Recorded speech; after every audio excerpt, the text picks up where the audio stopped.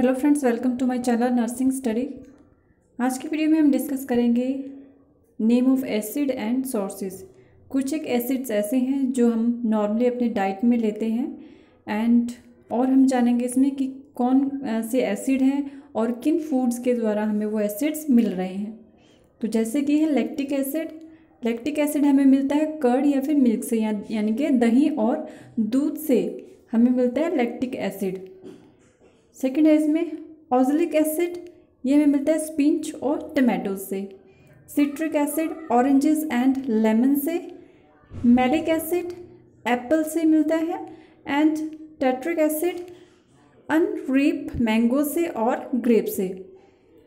उसके बाद आता है फॉर्मिक एसिड फॉर्मिक एसिड हमें मिलता है ऑन स्ट्रिंग से।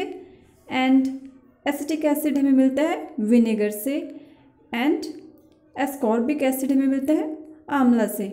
तो ये कुछ एसिड्स हैं जो कि नॉर्मल हमारे डाइट में इंक्लूड होते हैं और हमने डिस्कस किया है सोर्सेज यानी कि किन किन फ़ूड के द्वारा हमें ये एसिड्स प्राप्त होते हैं।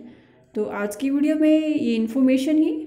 आई होप ये इन्फॉर्मेशन आपके लिए यूज़फुल होगी। तो आज की वीडियो इतना ही। Thank you for watching